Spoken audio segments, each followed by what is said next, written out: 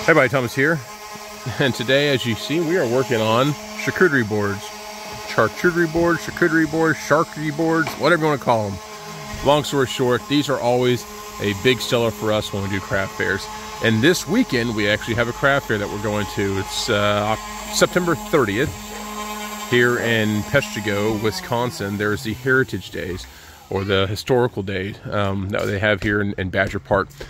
We went to it last year just to see what it was all about and everything. And this year we're actually going to work on, you know, having a booth and everything.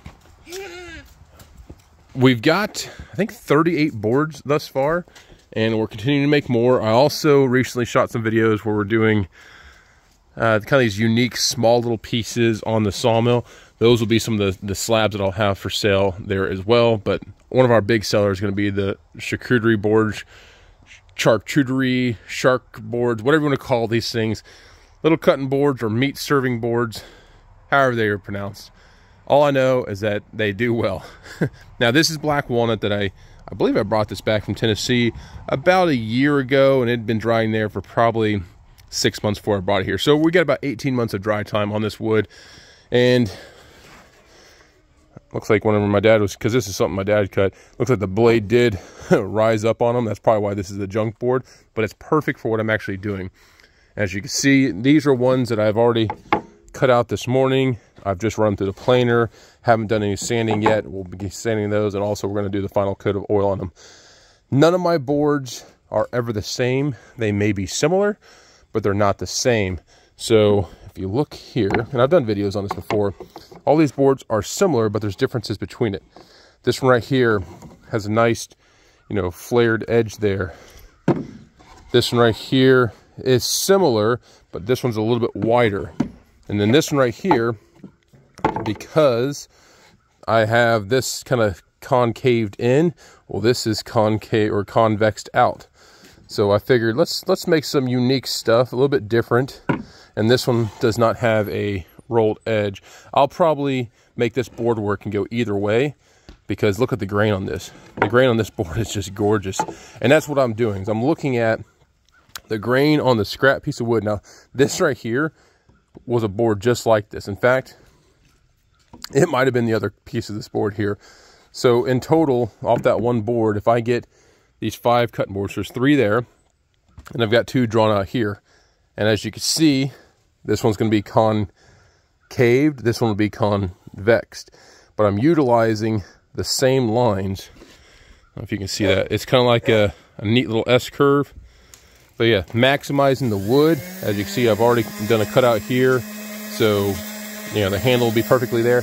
Now, this, is this board won't be as pretty as, say, one of these ones up here but I will have some neat, you know, darker color wood down here, lighter up here. I usually try to like to get the handle into some kind of like unique portion of the wood. So like on these ones right here, you know, there's there actually there was a knot that I was cutting out there. But like on this one right here, I want it to be a nice, you know, black streak, you know, from darkness to light. That just looks real pretty. I think that's gonna be a beautiful board anyways, I try to kind of follow what the grain of the wood has.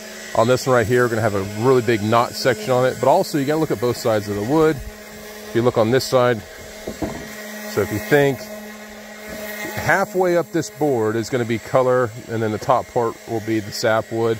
And on this one right here, the top part will be the heartwood, and the bottom part will be the sapwood. So it'll be a neat transitioning board, similar to kind of like what this one right here looks like. Yeah, I've talked enough. Let's go ahead and get to the actual work. I'm gonna do this via a time lapse because I've done a lot of videos in the past where I show these boards being made, but really I think y'all are interested in the final product. And again, these are all scrap woods, offcuts and stuff like that, that are just junk. This board right here, I could have sold it. I probably would have sold that board as it is for like five bucks. But if I make these two cutting boards out of it, that's say 35 bucks each. So that's 70 bucks out of a $5 board not too shabby. All right, so let me go ahead and throw in a time lapse. We'll get to uh, working on this, and then we'll show at the very end of the video all the different boards we have.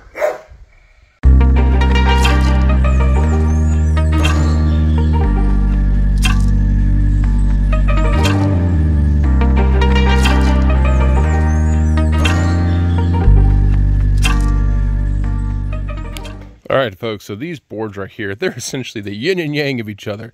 And this is really cool because it was one solid piece. And we're maximizing the, the, the, yield on this. And there are some differences. As you can see, this one here has kind of a, a different sloped handle.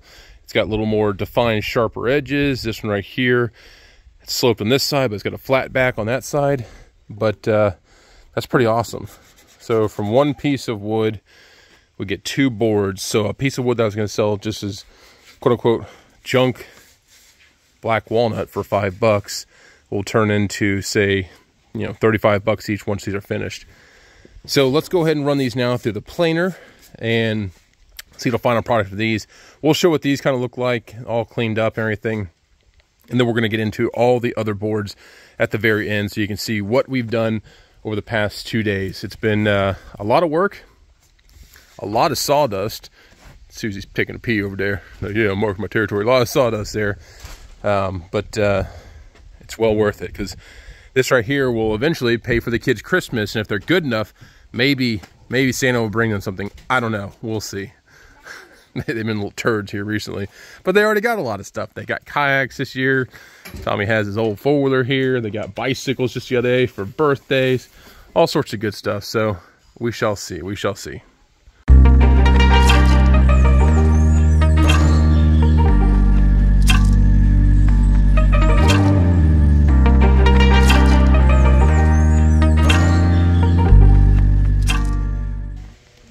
And that's just beautiful there. I mean, these boards are going to look great. So even the back side of the boards is going to look great.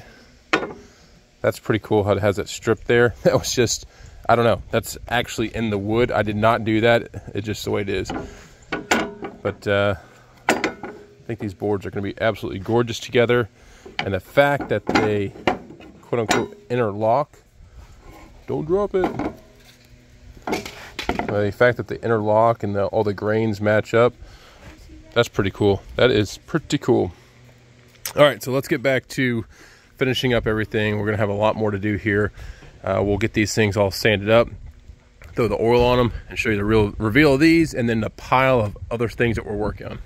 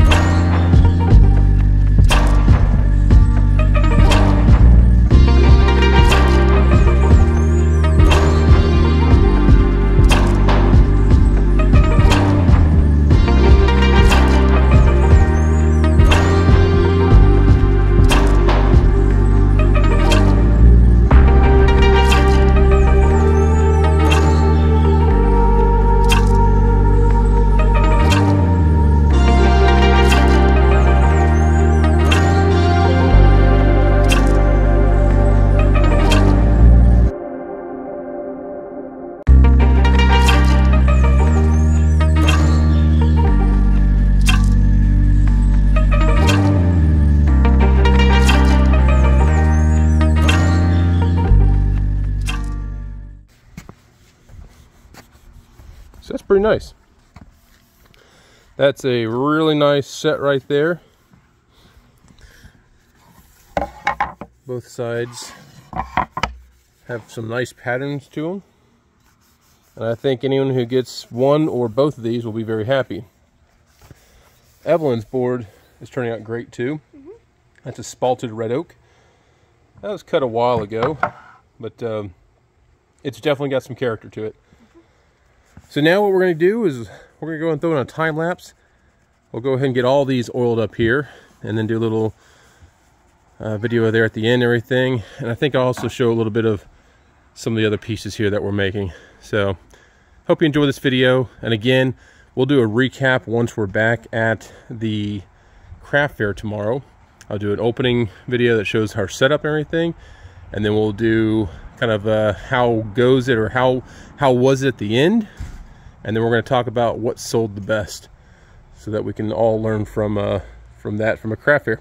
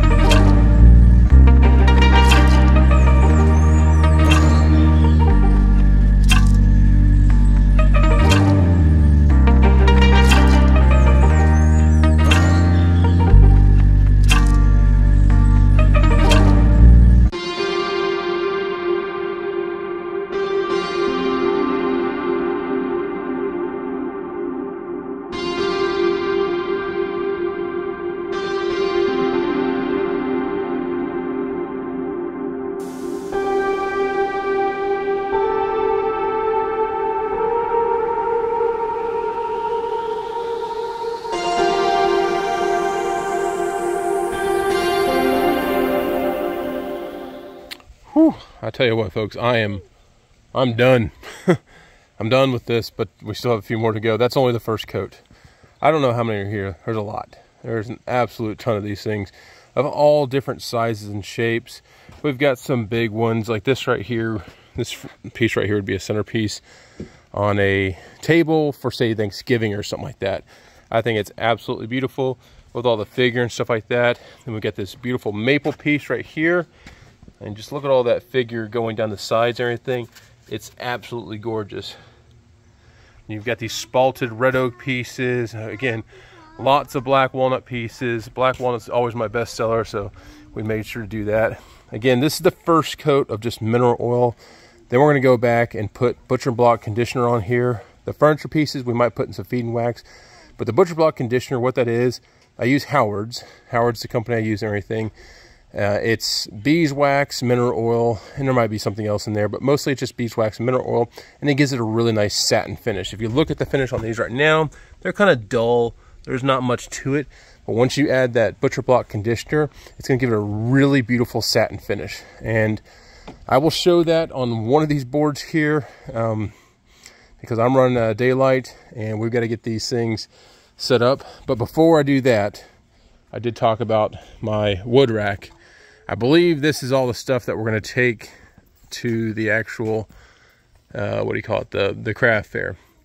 We've got a whole lot of stuff. We've got black walnut, we've got maple. I'm probably going to take out some of these bigger maple pieces because I don't want to haul this crap in there. And if someone buys it, I'm going to kind of feel obligated to, to carry it out because that's probably a 50 pound piece right there. And I just, I can't do that. So I'll just limit myself to smaller pieces. Uh, and that's fine because I've got a lot of smaller pieces. And a lot of these are like this maple right here. This is a do-it-yourself piece. Some of the boards that we were working over there were maple just like this. I'm like, okay, you can buy a maple board from me that's finished up for say 30 bucks, or you can buy this one right here where you can make five or six boards uh, for, I don't know, I'll sell for 20 bucks or something like that. Who knows? But uh, yeah, I mean, some of these pieces are like this black walnut piece right here that's five bucks, 10 bucks for that piece there. 10 bucks for that piece. I mean, I, have got them priced pretty well. Some red maple crotch section for 15 bucks. So a big thick slab of red maple for 40. There's a big tall one for 30. Anyways, I've, I've priced them out what I believe is a, is a good price or anything. And yeah, so let's uh let's show a finished version. I think I've got some other videos I got to throw in here too. This has been a long video, but whew, three days of doing this and I'm about pooped. Now I do actually have to go over to that barn way back there and I I had a hornet's nest in the hay. That's why I took all the uh, the tarping stuff down. I had a hornet's nest there in the hay, sprayed it down, but I've got some big slabs of cedar out there that I need to get to. There's a slab in the back of that thing. But all right, let's get back to it. Okay, folks, I'm absolutely give out. Um, it's, I don't know, six o'clock or something like that. We've been working on this for a while, but I have actually oiled up everything with a second coat of the Howard's Butcher Block Conditioner. I can't get this thing to focus. Anyways, I'll, uh, I'll put a link in the description below. I use this stuff absolutely on all my wood products um, and projects and stuff like that. It's great. Now, we just had a big gust of wind, so it's hard to show the, uh, the satin finish. Plus, I don't have any sunlight, but uh, it looks great. now, take a look at this. That is 54 charcuterie boards in there. 54. And they're like you've seen throughout the day, there are all different shapes and sizes. I think we should be able to meet anybody's and everybody's want, needs, desires when it comes to charcuterie boards. There's a whole lot in there. 54. No same, no board is the same. They're all kind of unique. And then I've gone through with my black walnut, the cedar, the maple, the ash, the oak, and there might be another species in there somewhere. Um, but yeah, this pile right here will also go there. That's a pretty small little rack, but it carries a lot of freaking wood. So yeah, very happy. Wish us luck tomorrow. I'll uh, I'll get this video up sometime tonight, and uh, I'll let you know how it goes. All right, please like, subscribe. We will see y'all around, and stay tuned for more. Thanks.